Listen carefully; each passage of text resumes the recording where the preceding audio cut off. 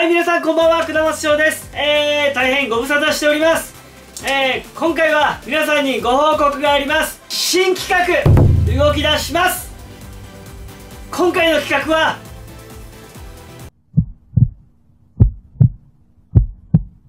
福岡ソフトバンクホークス背番号00番川瀬光選手応援歌企画はいということで、えー、ソフトバンクホークス川瀬光選手から登場曲を作ってほしいという依頼が来ましたので、えー、川瀬選手のために応援歌を書き下ろしていきたいと思います。えそこでですね、えー、川瀬選手の応援歌を作るにあたって、えー、これまで今宮選手そして周東選手の応援歌を作ってきましたがその時は、えー、クラウドファンディングを実施して、えファンの皆さんと一緒になって作り上げたんですけども、え今回はちょっと違いますクラウドファンディングではなく、この応援歌を作っていくにあたって、えー、一緒に、一緒になって、えー、この応援歌を作っていただく、そして盛り上げていただく、えー、スポンサーの、スポンサーを募集したいと思います。川瀬光選手、応援歌企画、スポンサー、大募集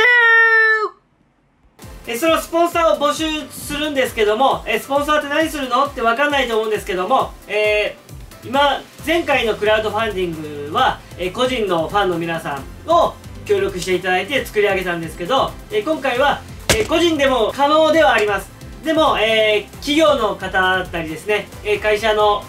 PR だったり、えー、この応援歌を作るにあたって、えー、自分の会社を PR したいっていう企業の方に、えー、ちょっと協力していただければと思って、え今回この企画を立ち上げました。えー、もちろんスポンサーになっていただく会社の要望で、えー、ミュージックビデオで何かやりたいという意見だったり応援歌を作るこの曲